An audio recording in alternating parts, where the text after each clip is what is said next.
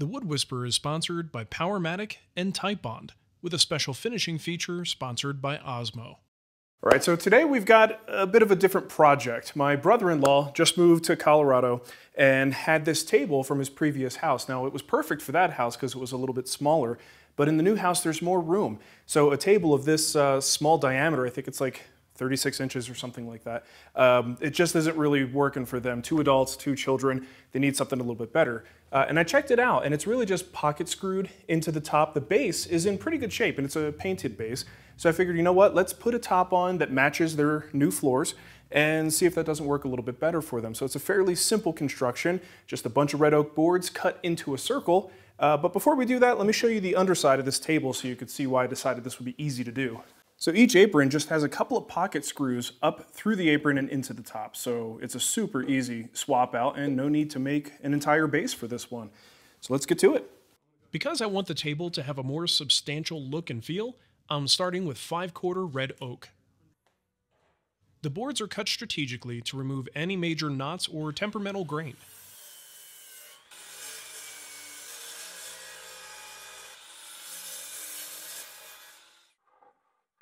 Once we have a decent layout, we can number the boards to keep them in order and then start the milling process.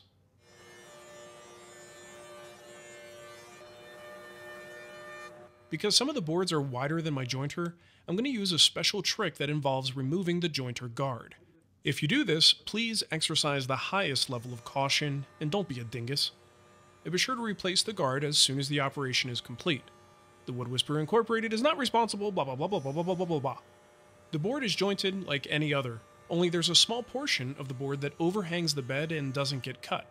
After a few passes, we've got a nice flat 8 inch wide section and then a small rough strip. At the workbench, we'll use a hand plane to remove that small strip and make it level with the rest of the board. There's a variation of this technique that uses a piece of plywood and a planer, which can be faster if you have a lot of these to do, but for a small piece or two, this method is nice. Plus, it gets your heart rate up for a few minutes, which isn't a bad thing. Now that we have a nice flat surface for reference, we can send the boards through the planer. It's a great feeling not having to sacrifice board width just because of the size of your jointer. By the way, that good looking guy right there is Nicole's brother Jason. Not him, that's George Costanza. Believe it or not, he's my new shop helper, so you might see him, or at least his arms, in a lot of my future videos. Not him, him. The boards are all ripped to width at the table saw, removing any gnarly bits from the edges.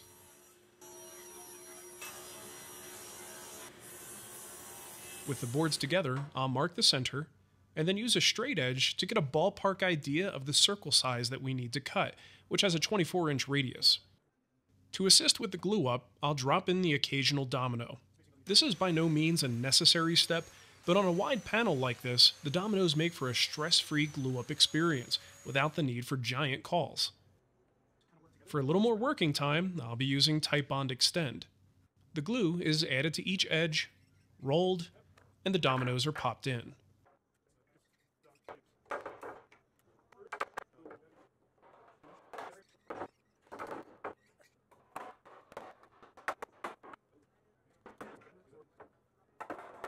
I'm lucky to have some long parallel clamps, but pipe clamps also work great for big glue ups like this. Once the glue is set up but not fully cured, I scrape it away with a card scraper.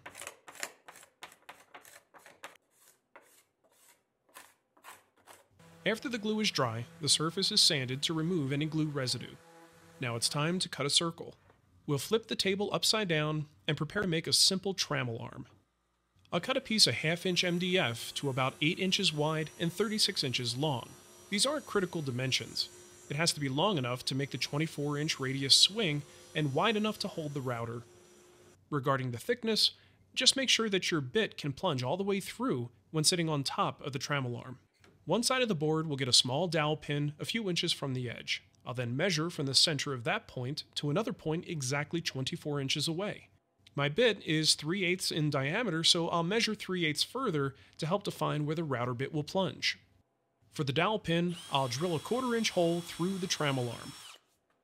On the underside of the table, I'll drill the same hole in the absolute center, making sure that I don't go all the way through. Using a quarter inch dowel pin, I can drop the trammel arm in place, and you can see how this is going to work.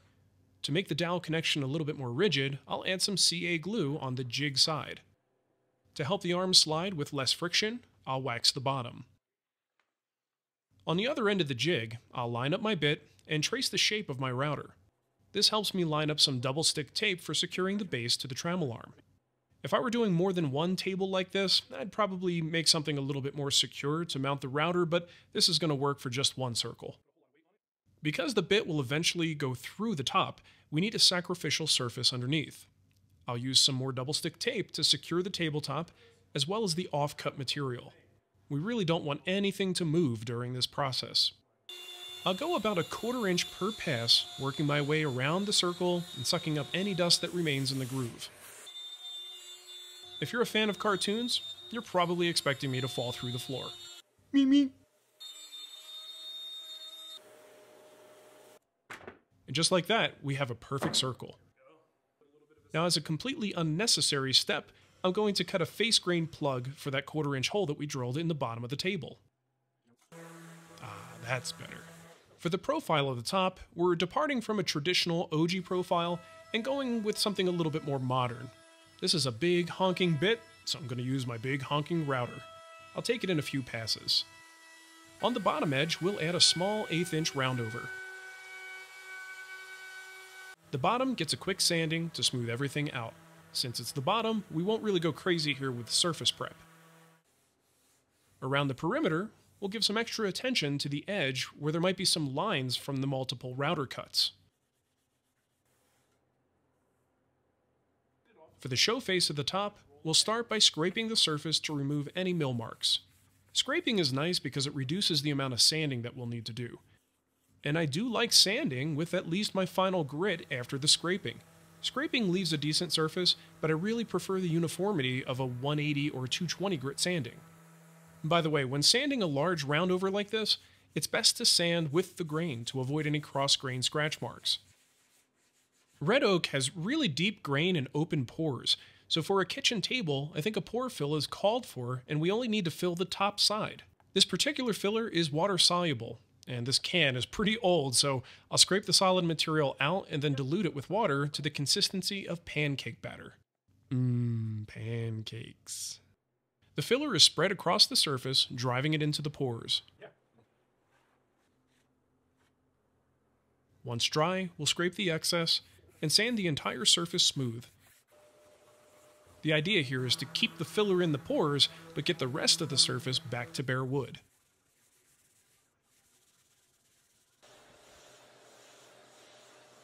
For the finish, I'm using Osmo Polyx Oil Pure. This is their low VOC product. It applies pretty easily by putting a little bit on the surface and then spreading it out to a very thin layer. Now, for full disclosure, I have been testing Osmo on several projects over the course of the last year, and I did purchase all those materials myself. I've been very happy with the results, and after filming this project, I approached them about sponsoring the video. So, what are they paying me for? Basically, to spend a little more time showing you what products I'm using and how to apply them. Nothing more. As always, my opinions are my own, and I was going to use this finish with or without the sponsorship. Anywho, once the finish is spread out, I go back and use a paper towel to quickly wipe away any spots where I have some excess. Now I let it sit for an hour, and then come back and repeat the spreading process one more time. A finish like this has some distinct advantages. First, it's low VOC. You still want some ventilation, but this stuff isn't going to knock you on your butt. Second, it's fairly durable. It's not really a true film finish, but the layer of wax left behind is definitely hard and does a great job of locking out liquids. Third, it's really easy to apply. It's pretty much dummy proof. Fourth, it's incredibly easy to repair. When his table gets scratched up, we'll be able to do spot repairs without having to completely refinish the top. Once I let that second coat sit for another hour, I come back with a white Scotch-Brite type pad on my random orbit sander. This not only drives the finish deep into the pores, it also lightly abrades the surface, making it super smooth. I then finish off the surface with a terry cloth buffer. The process is then repeated on the top. The only difference with the topside finish is that I'm going to add an additional level of protection using their top oil product. It's a high solids finish that's completely food safe once it dries. I'll wipe on a thin layer using an applicator pad. You can also roll it on with a microfiber roller or buff it in with Scotch-Brite. Now since this is red oak, I'm a little hesitant to apply a thicker layer because it's likely to result in air bubbles in the finish, so I'll just wipe on two thin layers instead. No runs, no streaks, just a perfect, smooth satin finish. It's cool. Nice overhang too. So there it is, a pretty quick and easy upgrade. Now it's a table that's fit for a family of four. A nice finish on there that they could beat up, and uh, if they're anything like my kids, they're gonna take forks and drag them across the surface. So we've got a finish that's easy to repair, which is a good thing. So all in all, pretty quick weekend project and uh, looks pretty good.